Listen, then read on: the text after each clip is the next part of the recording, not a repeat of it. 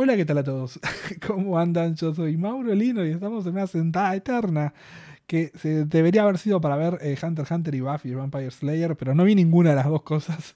Vi como cinco episodios de eh, Haikyuu, cosa que no debería haber hecho, pero acá estoy. No, no sé, mañana me quejaré conmigo, pero es algo que tendrá que arreglar Mauro del futuro. Gente, igual tenía un día para hacer boludeces. La verdad es que es esa. Podía haberlo hecho, lo hice, se terminó. No vamos a hacernos tanta mala sangre. Gente, vamos a ver el nuevo episodio de Haikyuu, episodio 11. Si tienen ganas, en patreon.com vamos varias semanas adelantados porque el episodio 9, 10 y 11 lo subimos todo de una. Son tres capítulos uno atrás del otro lo cual eh, hace que nos adelantemos muchas semanas, ya que eh, igual no veníamos haciendo esto, pero el episodio, por ejemplo, de eh, versus Oikawa, subimos como seis episodios juntos y nos adelantamos muchísimo ahí, así que estos tres también es mucho, tuvimos varios de dos también antes del partido de Oikawa, así que debemos ir, no sé, 10, 12 semanas adelantados en patreon.com, así que si tienen ganas de ir para allá, probablemente haya más y si están viendo esto en YouTube, probablemente haya mucho más, porque seguro ya estemos en el torneo. Así que nada, si tienen ganas, pueden chequearlo abajo en la descripción. Yo igual les pongo por qué capítulo vamos y quizás pueden verse como 15 episodios uno atrás del otro. Pero bueno, eso depende de ustedes. Si quieren hacerlo, pueden hacerlo. Si no, nos vemos en, en YouTube, acá. O en el drive cuando vayan a ver la reacción. Ahora y vuelvan para ver lo que comenté del episodio. Así que vayan, vengan y hablamos en un ratito. Se me cortó la cámara justo por 10 segundos, me faltaban una poronga. Pero bueno, eh, ¿cómo andan? Eh, no sé si hay mucho para hablar de este episodio porque al final eh, fue el desenlace, que es lo que suele suceder con esto, que siempre me cagan, me agregan un minuto más de episodio y me recagan. Pero nada, ganamos. Me gustó mucho para cerrar con todo lo que es el torneo, me gustó mucho la presencia de Akashi en el equipo de Bakuto. Realmente me parece que es un gran, no sé si es el capitán, pero me parece que lo era por cómo manejaba su equipo, no solo desde los, puntos como seteador, sino también cómo eh, sabía controlar a la estrella desde lo anímico también y sabía que el último balón se lo tenía que dar a él y que iba a reaccionar porque es el mejor de todos y fin. Me gustó mucho, me gustó mucho ese control, me gustó mucho todo este arco del torneo de eh, campamento porque ayudó mucho a los chicos a mejorar en cada uno de los aspectos de los que querían mejorar. Me parece que como equipo están funcionando otra vez mejor porque habíamos entrado en un momento de tensión bastante grave eh, cuando arrancó todo este arco, pero por suerte eh, a todos nos dieron herramientas nuevas para poder luchar y herramientas que nos van a servir para poder luchar en los próximos partidos.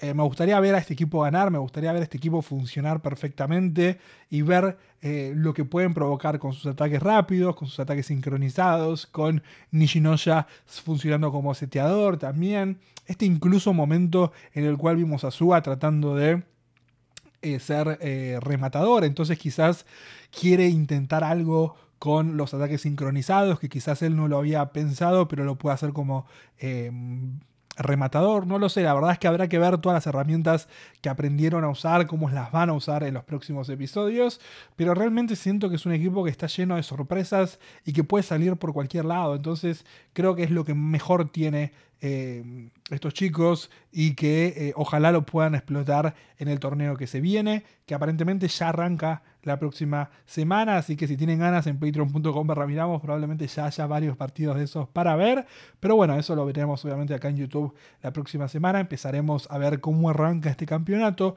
para poder terminar de la mejor manera. Este es el último torneo para los chicos de tercero, así que vamos a ver eso y vamos a disfrutar eso como lo es, ojalá puedan retirarse con una victoria, es un torneo menor, pero es un torneo bastante importante que para los chicos de tercero también va a ser lo último. Y que bueno, esperemos que puedan darlo todo porque hay que todo y porque hay muchos equipos conocidos y nuevos a los cuales habrá que enfrentarse en el torneo de primavera. Así que esperemos que podamos hacer eso, esperemos poder ver eso y ojalá que funcione y bueno, vamos a tener que verlo las próximas semanas. Tuvimos varios momentos como para cerrar el episodio. Creo que esencialmente eh, me gustó mucho el momento de Tsuki con su hermano, que eh, nada, está tratando de jugar al volei, que está tratando de poder sentirse cómo se sienten todos al disfrutar ese deporte y que después de toda esa vergüenza ahora lo está disfrutando y lo está sintiendo como corresponde. Me gusta que pueda hablar con su hermano, que quizás pueda incluso ir a verlo y eso le sirvió a Atsuki para poder sonreír y para poder sentir que lo que estaba haciendo en algún punto iba a poder servir, poder darlo todo hasta que yo esté satisfecho con que lo di todo y creo que eso es lo más importante y va a serlo siempre. Em, vimos también a eh, con Tobio mostrándole el ataque sorpresa y el ataque rápido a el viejo Ukai, así que esperemos que también Ukai esté más presente en esta segunda parte del arco, quizás viendo los partidos y alentando al equipo. Em, nada, sabemos que es importante, puede ser el último torneo, así que estoy bastante ansioso por ver eso. Eh, va a doler mucho para Daichi, para Saji, para Shimizu y para Suga, pero es algo que va a suceder y que eh, quiero verlo y quiero llorar con lo próximo que se venga, así que estoy muy ansioso ansioso, muy ansioso por eso. Y nada, me gustó mucho ver a Yachi, creo que fue una gran incorporación al grupo, que tiene un nivel de observación súper lindo y que suele estar muy atenta a las necesidades de los chicos y suele estar muy atenta a las realidades de los chicos. Así que nada, estamos, estamos, estamos funcionando, esperemos que lo podamos lograr y esperemos que podamos retirarnos con una sonrisa feliz y que bueno, después lo próximo se venga, que se vengan seis meses, como dijo el entrenador de Necoma, con nuevos eh, integrantes, sea para poder ayudar al equipo a seguir mejorando. Así que nada, Vamos a ver cómo es que sigue todo eso próximamente. No hay mucho más para hablar de este eh, episodio. Creo que es como más un cierre y realmente ese momento del asado en el que estaban todos juntos y seguían divirtiéndose y siendo amigos.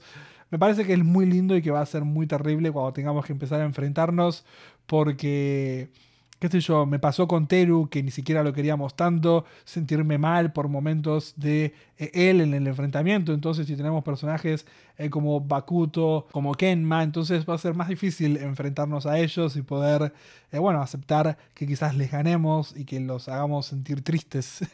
pero bueno, si no son ellos, somos nosotros y yo no quiero llorar más. Así que, gente, vamos a ver cómo es que sigue todo las próximas semanas en Haikyuu. vi muchos episodios hoy de Haikyuu no tendría que haberlo hecho, pero bueno, lo hice, así que si les gustó el video, por favor, compartan, denle like, suscríbanse, si tienen ganas de ver más episodios, ponen a patreon.com barra miramos, y me voy porque se me está por terminar la memoria de la cámara y de la computadora, así que chao chao.